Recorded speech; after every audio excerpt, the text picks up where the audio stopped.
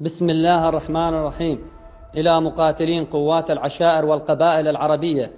إن النصر مع الصبر وإن الفرج مع الكرب وإن مع العسر يسرا. سوف تستمر مسيرة القتال ضد مرتزقة قسد وأعوانهم حتى يرفرف النصر على أرضنا. تحية إلى مقاتلين العشائر الشرفاء والرحمة على أرواح الشهداء. الذين قاتلوا من أجل كرامتنا والخزي والعار على أذناب قسد الذين سيذكرهم التاريخ على خيانة أهلهم. وإن شاء الله النصر قريب بسواعد أبناء القبائل العربية. وكما نحث إلى أبناء دير الزور الاستمرار بالمظاهرات السلمية حتى تحقيق مطالبنا وهي إدارة المكون العربي لمناطقنا. السلام عليكم ورحمة الله وبركاته. أخوكم الشيخ إبراهيم جدعان الهفل.